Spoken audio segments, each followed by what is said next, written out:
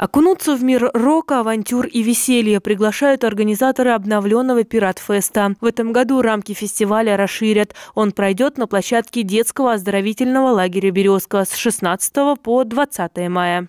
Мы решили, что этот фестиваль должен быть представлен э, фактически всеми направлениями музыки и поделили как бы ну, на несколько условных блоков.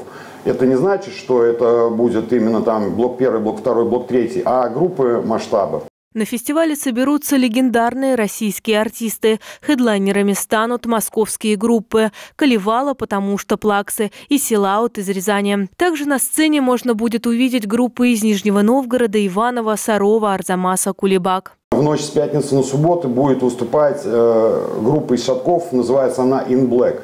Очень классные профессиональные ребята.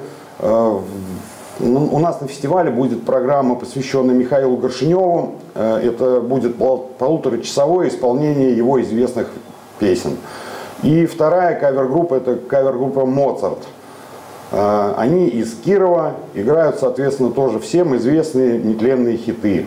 Для маленьких зрителей организаторы подготовили особую программу «Детский триумф» шоу аниматоров, веселые активности и мастер-классы от кузницы до тира и потешных боев. Будет не скучно. Иногда со сцены будут э, производиться конкурсы. Также будут ведущие, которые не дадут вам соскучиться. Они также будут проводить вам конкурсы, э, шутить, э, где-то даже по стендапе, если будут э, заминки. Это очень э, важно, и я думаю, то, что это вам должно понравиться.